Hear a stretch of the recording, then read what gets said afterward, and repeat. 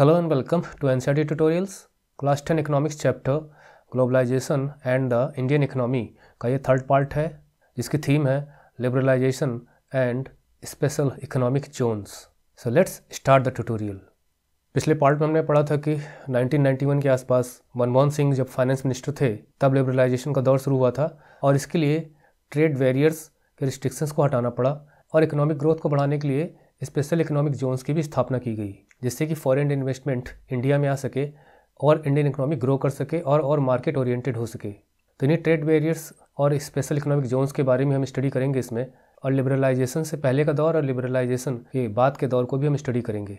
तो शुरुआत करेंगे कि ट्रेड बैरियर्स होते क्या है। हम थोड़ा बहुत पिछले पार्ट में इसके बारे में जान चुके हैं कि एक प्रकार के टैक्स होते हैं, जो इम्पोज किए जाते हैं, लगाए जाते हैं गवर्नमेंट के द्वारा किसी भी देश के, जिन्हें हम इम्पोर्ट ड्यूटीज़ भी कहते हैं, या क्वांटिटेटिव रिस्ट्रिक्शंस हम लगा सकते हैं फॉरेन गुड्स पर।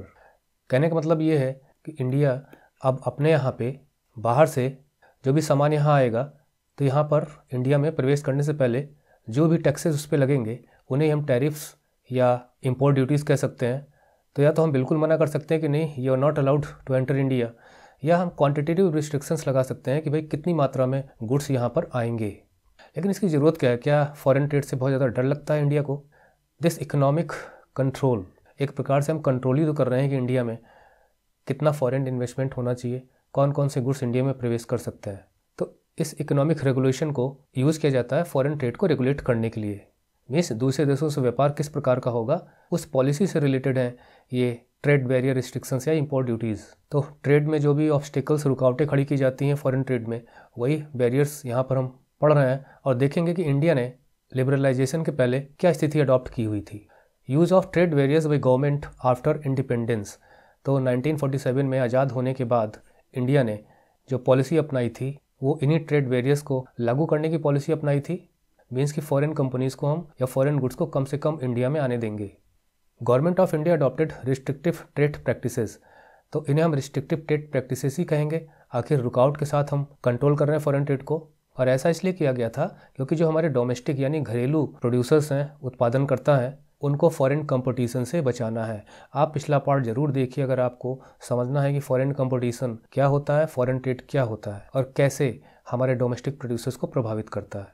During nineteen fifties and nineteen sixties तो आज़ाद होने के बाद 1950 का दशक हो या 1960 का दशक हो, जो इंडस्ट्रीज़ थी हमारे यहाँ, वो बस अभी डेवलप ही कर रही थी। देवर जस्ट कमिंग अप या हम कह सकते हैं कि this was the nascent stage of industrialisation जैसे किसी व्यक्ति का बचपना होता है चाइल्डहुड तो चाइल्डहुड में उसे काफ़ी ज़्यादा प्रोटेक्शन की ज़रूरत होती है। तो इसलिए जो ट्रेड बैरियर्स का प्रयोग किया जाता है फॉरेन कंपनीज़ को इंडिया में आने से रोकने के लिए या फॉरेन गुड्स को रिस्ट्रिक्ट करने के लिए या उनकी क्वांटिटी को रिस्ट्रिक्ट करने के लिए, इस पॉलिसी को प्रोटेक्शनिज्म कहा जाता है।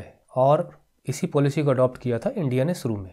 यानी हिंदी में हम कह सकते हैं संरक्षणवाद। किसको संरक्षण देने की बात थी? किसको प्रोटेक्शन देने की बात थी? इंडियन इंडस्ट्रियल सेटअप और इंडियन डोमेस्टिक प्रोड्यूसर्स को प्रोटेक्शन करने की बात थी। लेकिन क्या फॉरेन ट्रेड पूरी तरह से बंद कर दिया गया था? नहीं, ऐसा नहीं था।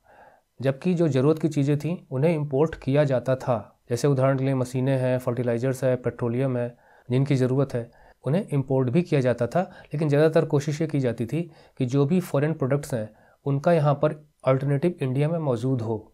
तो कुल मिला हम ये कह सकते हैं कि इंडियन कंपनीज़ को फॉरेन कंपटीशन से बचाने के लिए ये ट्रेड बैरियर्स अडॉप्ट किए थे गवर्नमेंट ने आफ्टर इंडिपेंडेंस लेकिन ये ट्रेड बैरियर्स 1991 के आसपास हटाए जाने भी शुरू हो गए, क्योंकि इससे भारतीय इकोनॉमी प्रभावित हो रही थी और हमारा एक कट ऑफ़ बना हुआ था सेपरेशन बना हुआ था। मार्केट ओरिएंटेड इकोनॉमी नहीं थी हमारी, क्योंकि हम पिछले पार्ट में देख चुके हैं कि फॉरेन ट्रेड और एम और ग्लोबलाइजेशन का फ़ायदा कैसे होता है देश को। नुकसान भी होता है, लेकिन फ़ायदा भी होता है। और हमारे यहाँ फाइनेंशियल क्राइसिस भी बढ़ रहा था। और जो अंतर्राष्ट्रीय संस्थाएँ हैं इंटरनेशनल इंस्टीट्यूशंस जैसे डब्ल्यू जिसके बारे में हमने पिछले पार्ट में पढ़ा था, इसके अलावा आईएमएफ है, यानी कि इंटरनेशनल मॉनिटरी फंड है वर्ल्ड बैंक है, इन सबने भी दबाव डालना शुरू किया, क्योंकि डब्ल्यूटीओ या इनका या वर्ल्ड बैंक का जो सहायता देती हैं डेवलपिंग कंट्रीज़ को, वो कंडीशंस लगाती हैं। तो उस कंडीशंस का भी दबाव था कि 1991 में मनमोहन सिंह जब फाइनेंस मिनिस्टर थे, नरसिम्हा राव की गवर्नमेंट थी, उस समय ये जो फॉरेन ट्रेड पर रिस्ट्रिक्शंस थे, इसमें ढील देनी शुरू हुई और कंपनियाँ भारत में आना शुरू हुई। तो आगे का topic removing of trade barriers और ट्रेड वेरियर्स को ही हटाना लिबरलाइजेशन कहलाता है। इकोनॉमी को ओपन करना रिस्ट्रिक्शंस को कम करना, इसे ही उदारवाद या लिबरलाइजेशन जो 1991 के आसपास मनमोहन सिंह ने शुरुआत की थी और जो अब भी चला आ रहा है। इकोनॉमी को हर गवर्नमेंट धीरे धीरे ओपन ही करती चली जा रही है। Government wanted to improve economic situations suffering from slow growth तो ग्रोथ स्लो थी फ़िज़िकल डेफिसिट यानी वित्तीय घाटा था, यानी हमारा जो एक्सपेंडिचर है और जो हमारी इनकम है, उसमें एक्सपेंडिचर एक्सीड कर रहा था। लो फॉरेन एक्सचेंज रिजर्व्स थे हमारे पास। यानी भारत अगर बाहर से कोई सामान खरीदता है फॉर एग्जांपल पेट्रोलियम अब पेट्रोलियम खरीदते समय उसे पैसा पे करना पड़ेगा डॉलर में। तो फॉरेन एक्सचेंज रिज़र्व का मतलब होता है कि हमारे पास कितनी विदेशी मुद्रा है फॉरेन करेंसी है। तो मान लीजिए हमें फाइव डॉलर पे करने हैं तो अगर हमारे पास फाइव डॉलर्स हैं तो हम डॉलर को डॉलर में पे कर सकते हैं। अगर हमारे पास रुपीज़ हैं तो जो एक्सचेंज रेट होगा फॉर एग्ज़ाम्पल आजकल सेवेंटी प्लस में चल रहा है वन डॉलर के अगेंस्ट तो five seven thirty five three hundred fifty rupees देने पड़ेंगे। तो कितनी फॉरेन करेंसी हमारे पास रिज़र्व में है? फॉरेन एक्सचेंज रिज़र्व कम हो रहे थे। और जैसे मैंने बताया आईएमएफ का दबाव था, और डब्ल्यू बी यानी वर्ल्ड बैंक का दबाव था, कि इकोनॉमी को ओपन किया जाए, और जो लाइसेंस राज था, यानी कि जो कंपनियाँ आती थीं और उन्हें परमिट लेना पड़ता था, जैसे आप स्कूल में एडमिशन लेने जाते हैं तो अप्लीकेशन फॉर्म खरीदते हैं फ़ी पे करते हैं फिर रिटर्न टेस्ट होता होगा, फिर इंटरव्यू होता होगा, फिर क्लास असाइन की जाती होगी। तो ये जो प्रोसेसेस हैं, इसी प्रकार से कोई कंपनी भारत में आके कोई व्यापार करना चाहे, कोई यूनिट स्थापित करना चाहे तो उसे कई प्रोसेस से गुजरना पड़ता था। लगभग 80 गवर्नमेंट एजेंसीज़ को सेटिस्फाई करना था, तब जाके कहीं पे कोई क्लियरेंस होता था और परमिट मिलता था। इसमें कितना समय लगता था, जिसकी वजह से कंपनियाँ आने की कोशिश ही नहीं करती थी जल्दी। तो इसी लाइसेंस राज को धीरे धीरे ख़त्म करने की शुरुआत हुई लिबरलाइजेशन के दौरान। Government thought Indian company should face global competition.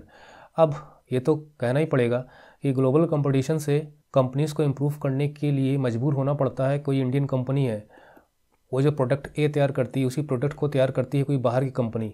अब उसके पास लेटेस्ट टेक्नोलॉजी है अच्छा खासा पैसा है एडवर्टीज़मेंट अच्छा खासा करती है लो प्राइस में बेचती है तो भाई इसको तो कंपटीशन करना पड़ेगा ना तो ये अपनी क्वालिटी स्टैंडर्ड को इम्प्रूव करेंगे। तो ग्लोबल कंपटीशन को फेस करना चाहिए। बहुत हो चुका 1990 से वन से पहले की बात की घरेलू प्रोड्यूसर्स को सामना नहीं करना पड़ता था फॉरेन कंपटीशन का, लेकिन अब करना पड़ेगा। Global competition would improve the performance and quality of domestic production जो मैंने अभी आपको बताया। Liberal policies were supported by international organization like WTO तो डब्ल्यूटीओ क्या करता है? वो सब ऑलरेडी हम पिछले पार्ट में पढ़ चुके हैं। Liberalization of India began in around 1991 ये मैंने पहले ही आपको बता दिया। नरसिम्हा राव की गवर्नमेंट थी, मनमोहन सिंह फाइनेंस मिनिस्टर थे। उस वक्त और लिबरलाइजेशन किस लिए किया गया? जिससे कि हमारे पास फॉरेन ट्रेड के माध्यम से एफडीआई आए, यानी foreign direct investment foreign company आगे इन्वेस्ट करें प्रोडक्शन यूनिट स्थापित करें, और इस प्रकार से भारत में उद्योग धंधों को बढ़ावा मिलेगा। तो अगला topic government's attempt to attract foreign investment foreign investment को अट्रैक्ट करने के लिए, भारत में लाने के लिए कुछ पॉइंट्स हम ले लेते हैं। चाहे सेंट्रल गवर्नमेंट हो, चाहे स्टेट गवर्नमेंट हो, दोनों कोशिश करती हैं कि उनके राज्य में या इंडिया में आकर बड़ी बड़ी कंपनियाँ अपने उद्योग धंधे स्थापित करें। स्पेशल इकोनॉमिक जोन्स की स्थापना की गई इंडिया में। इसको भी हम अलग टॉपिक में लेंगे। Government has allowed flexibility in labour laws तो लेबर लॉज की फ्लेक्सिबिलिटी क्या होती है? लेबर लॉज में छूट देना, जो हम पिछले पार्ट में ऑलरेडी पढ़ चुके हैं। एस यानी स्पेशल इकोनॉमिक जोन कंपनीज़ जो स्पेशल इकोनॉमिक जोन में काम करती हैं। वहाँ पे अपनी यूनिट्स स्थापित करती हैं।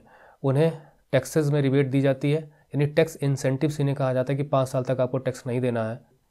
Government is trying to provide single window clearance जो अभी हमने बात की थी कि लाइसेंस राज की, कि लगभग अस्सी गवर्नमेंट एजेंसीज को सेटिस्फाई करने के बाद ही क्लियरेंस मिलता था। So much time was use in getting such clearances एक प्रकार से प्रोटेक्शनिज्म के दौरान गवर्नमेंट का इंटरफेयर हर जगह रहता था। आपने बैंक का नेशनलाइजेशन जो हमने पढ़ा था। हमारे यहाँ सरकारी कंपनियाँ स्थापित की गई, जिन्हें हम पब्लिक सेक्टर कहते हैं। ऐसे ही बहुत ज़्यादा इंटरफेरेंस रहता था। तब सिंगल विंडो क्लियरेंस की बात होने लगी कि भाई, आपको हम ऑनलाइन माध्यम से एक ही जगह से क्लियरेंस दे देंगे, थोड़े बहुत प्रोसेस आपको निभाने पड़ेंगे। यानी जो प्रोसीजरल डिले होता था, उस डिले को कम करने की बात की गई और फैसिलिटेट करने की बात की गई, आप आओ तो इंडिया में हम सारी मुसीबतें हल कर देंगे। और उसके लिए स्पेशल इकोनॉमिक जोन्स की स्थापना की गई। तो अगला टॉपिक स्पेशल इकोनॉमिक जोन्स यानी विशेष आर्थिक क्षेत्र। इसको इस तरह समझ लीजिए कि इंडिया में ही नहीं, दुनिया भर में स्पेशल इकोनॉमिक जोन्स इस्टेब्लिश किए गए हैं। कि कंट्री के अंदर ही कोई एक जोन बना दिया जाता है, यानी notified area special economic zone के नाम से। तो यहाँ पे आने वाली कंपनियों को कुछ छूट दी जाती है जो भी हम पॉइंट्स लेंगे और इसे हम मेन प्रोसेसिंग एरिया भी घोषित कर सकते हैं। इसके अलावा बगल में जो इससे रिलेटेड सपोर्टिंग इंफ्रास्ट्रक्चर को सपोर्ट करने वाली कंपनियों को यहाँ पर यूनिट स्थापित करने की इजाज़त दी जा सकती है। तो कुल मिला के special economic zone economic growth को बढ़ावा देने की कोशिश थी।